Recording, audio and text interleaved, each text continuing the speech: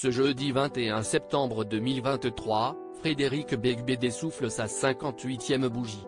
L'occasion de revenir sur la fusillade dans laquelle il s'était retrouvé et à la suite de laquelle, traumatisé, il a développé une maladie. Joyeux anniversaire à Frédéric Beigbeder. Ce jeudi 21 septembre 2023, l'auteur, chroniqueur et scénariste, entre autres, souffle sa 58e bougie. Une journée spéciale durant laquelle, on en est sûr, ses proches auront de tendres pensées pour lui, à commencer par ses filles Chloé et Ona, sa compagne Lara Micheli qui lui a donné de jeunes enfants mais aussi ses nombreux amis, du monde de la nuit mais pas que. L'occasion également de revenir sur un événement traumatisant auquel celui qui a définitivement quitté Paris avait malgré lui pris part dans un établissement de luxe. Nos confrères de Gala le racontaient au mois d'avril dernier dans leur page. On pouvait lire, j'ai toujours mis un point d'honneur à vouloir rédiger quelques pages chaque jour, assure-t-il.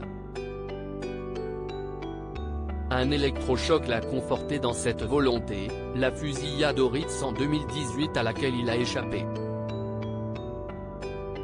Des hommes cagoulés en avaient après les bijoux exposés. L'épisode l'a longtemps privé de sommeil. J'ai déclenché peu après un diabète. Il paraît que cela peut arriver après un choc, raconte-t-il. Des propos qu'il avait complétés quelques jours plus tard sur le plateau de cet avou sur France 5, en pleine promo de son livre Confession d'un hétéro légèrement dépassé paru chez Albin Michel, il paraît que quelquefois on peut déclencher un diabète préexistant, après un stress. Moi j'ai été pris dans une attaque à main armée. Et d'ajouter, j'ai appris que j'étais diabétique. On vous explique que votre espérance de vie, si est 11 ans de moins que prévu. Si est en janvier 2018 que les faits étaient survenus dans le palace du premier arrondissement de Paris. Sur le coup, personne n'a vraiment compris ce qui se passait lorsque, juste après, trois types cagoulés ont fait à leur tour irruption dans le bar. Ils ont juste dit, barrez-vous, on ne va pas vous faire de mal. Ces quelques mots, qui se voulaient j'imagine rassurants, ont déclenché un vent de panique.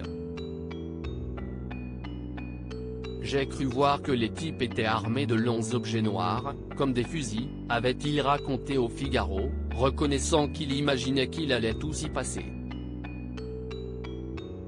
Le butin ce jour-là sera de 4 millions d'euros pour les braqueurs.